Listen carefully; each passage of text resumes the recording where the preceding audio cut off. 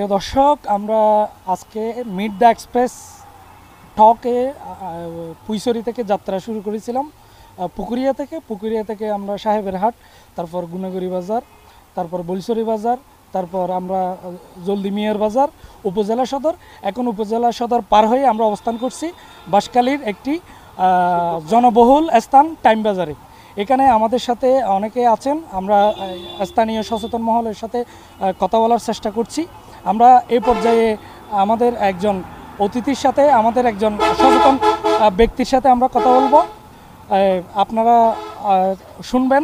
আমরা বাঁশখালী সড়কে হঠাৎ করে যে দুর্ঘটনা বৃদ্ধি পেয়েছে, এটার কারণগুলো কি এবং এখান থেকে আমরা কীভাবে পরিত্রাণ পেতে পারি? আপনার নাম? আমার নাম আহমদ সোফা, বীর মুক্তিযোদ্ধা আহমদ সোফা। প্যানেল চেয়ারম্যান শিল্প ইউনিয়ন পরিষদ। শিল্প? শিল্প ইউনিয়ন পরিষদ। আচ্ছা আপনি আমাদের স্বাধিকার আন্দোলন বাংলাদেশের যে স্বাধিকার আন্দোলন সেই আন্দোলনে নেতৃত্ব দিয়েছেন এবং এখনও আমাদের দেশের জনগণকে আপনি নেতৃত্ব দিয়ে যাচ্ছেন। আপনি একজন জনপ্রতিনিধি। জনপ্রতিনিধি হিসেবে আপনি প্রতিদিন মানুষের সাথে আপনার ইন্টারাকশন হচ্ছে। এই রাস্তা দিয়ে আপনার নিত্য যাতায়াত। এই যাতায়াতের পথে আপনি সেই পাকিস্তান আমল এবং বাংলাদেশের পিরিয়ডটা দেখছেন, হঠাৎ করে আমাদের বাঁশখালী সড়কে এই দুর্ঘটনা বৃদ্ধি পাওয়ার কারণগুলো কি মনে করছেন এবং এখান থেকে পরিত্রাণ পাওয়ার জন্য আমাদের কি কি পদ্ধতি বা কি কি পদক্ষেপ নেওয়া জরুরি বলে আপনি মনে করেন? আমি মনে করি মাননীয় প্রধানমন্ত্রী জননেত্রী শেখ হাসিনার উদ্যোগে বাংলাদেশের যে উন্নয়ন হচ্ছে, এই উন্নয়নের মধ্যে এখানে যে গাড়ি, প্রতিনিয়ত গাড়ি যেভাবে যান চলাচল করছে এটা রাস্তার, রাস্তাটা একটু ছোট হয়েছে, এটা আরও বড় করার প্রয়োজন আছে। এক, দ্বিতীয়ত হলো ট্রেনিং ছাড়া কতগুলো ড্রাইভার গাড়ি চালাচ্ছে, তারা সাইড বুঝে না লাইন বুঝে না, কিছু বুঝে না। এইগুলোর থেকে এইগুলোদেরকে বাদ দিয়ে সঠিক ড্রাইভার নিয়োগ করতে হবে এবং এখানে রাস্তাতে। যাদেরকে বাদ দিতে বলছেন তাদেরও তো সংসার আছে না সংসার ওইটা তাদের না প্রশিক্ষণ দিয়ে রাখতে হবে। হ্যাঁ, প্রশিক্ষণ দিয়ে রাখতে হবে। ফিরিয়ে আনতে হবে। এক। দ্বিতীয়ত হতো কথা হলো এখানে তারা গতি অর্থাৎ ওভারটেক করে বেশি বেশিরভাগ অ্যাক্সিডেন্ট করাচ্ছে। মানে একটাকে একটা প্রতিক্রম করে খার আগে খেয়ে যাবে। খার আগে খেয়ে যাবে। সেটার জন্য প্রতিযোগিতা করে এই যে জনগণের এখানে মানুষের জীবনের জীবনের ক্ষয়ক্ষতি হচ্ছে। এখান থেকে পরিত্রাণ পাওয়ার পাওয়া পাওয়ার হলে যে প্রশাসনিক এবং সবাইয়ের উদ্যোগের মাধ্যমে তাদেরকে আইনানুগ ব্যবস্থা করে তাদেরকে নিয়ন্ত্রণ মানে নিয়ন্ত্রণ তাদের ঠিক রাখার মতো তাদেরকে প্রশিক্ষণ দিয়ে নজরদারি বাড়াতে হবে। এবং প্রশিক্ষণ দিতে হবে। অনেক অনেক ধন্যবাদ আপনাকে। আমাদেরকে সময় দেওয়ার জন্য। জি। সুপ্রিয় দর্শক, আমরা এই পর্যায়ে বাংলাদেশ বাংলাদেশের একটি স্বনামধন্য প্রাচীন ছাত্র সংগঠন, বাংলাদেশ ছাত্রলীগের একজন কেন্দ্রীয় সাবেক সদস্য অত্র এলাকার, অর্থাৎ আমরা যেখানে দাঁড়িয়েছি, টাইম বাজার, এখানে তিনি স্থানীয় অধিবাসী মিজান শিকদারের সাথে আমরা কথা বলব। আমরা তার কাছ থেকে জানতে চাইব আমরা কীভাবে এই বিষয়গুলো চিহ্নিত করতে পারি এবং কীভাবে এর থেকে পরিত্রাণ পেতে পারি।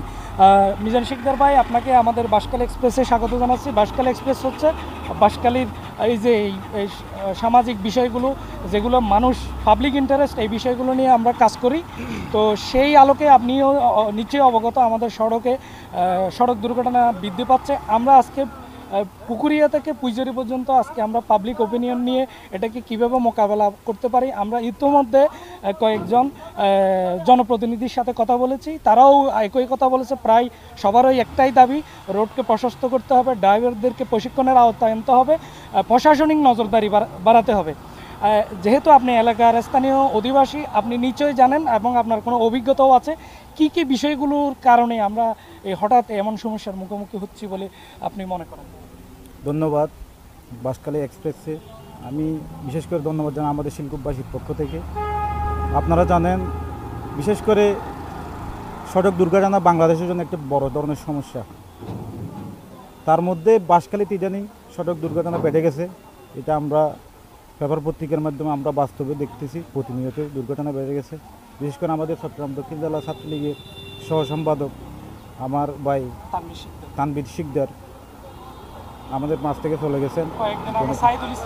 কয়েকদিন আগে সাইদুল ইসলাম বিশেষ করে এই চার পাঁচজন ইদানিং দশ পনেরো দিনের মধ্যে আমরা আসার পথে দুইটা দুর্ঘটনা ঘটতেছে প্রতিনিয়ত। আপনাদের মিডিয়ার মাধ্যমে আমরা জানতে পারতেছি। আমাদের কথা হলো এই সড়ক দুর্ঘটনা রোধ করার জন্য বিশেষ করে বাঁশখালীতে এদিকে একটা ওই অ্যাসালম পাওয়ার প্ল্যান্ট এটার কারণে প্রচুর গাড়ি যেটা করতে। রাস্তার আমাদের যে শ্যামবাজার থেকে গন্ডামারা রাস্তা যাওয়ার যে একটা মাত্র রাস্তা আছে সেইটা একেবারে নষ্ট হয়ে গেছে। রাস্তার ধারণ ক্ষমতার বাইরে ওজন যে গাড়িগুলো আসে এগুলোর কারণে প্রতিনিয়ত আমাদের সড়ক দুর্ঘটনা। এটা একটা কারণ। আর আমাদের বাঁশখালীর যে আগে যে অবস্থা ছিল বিএনপির আমলে বিশেষ করে আমাদের এই মাননীয় প্রধানমন্ত্রী রাজনীতিকগুলো বলব না কারণগুলো জিজ্ঞেস হ্যাঁ কারণ বলো আমি একটু ধারাবাহিকভাবে বলতেছি। আমাদের জননেত্রী শেখ হাসিনা আমাদের সরকার আসার পর থেকে, বিশেষ করে আমাদের আলহাজ মুস্তফিজুর রহমান চৌধুরী বাসকালীর মাটি মানুষের নেতা তিনি বাসকালীতে এমপি হওয়ার পর থেকে বাসকালীর এই রাস্তাটা আগে যে অবস্থায় ছিল, এখান থেকে প্রায় দশ ফুটের উপরে রাস্তা দুই পাশে বৃদ্ধি পেয়েছে। তারপর, তারপরেও এই বাসকালী এখন পিএবি যে সড়ক, এটা আঞ্চলিক মহাসড়ক, কক্সবাজার আর চট্টগ্রাম বাসকালী দিকে যাতায়াত করে।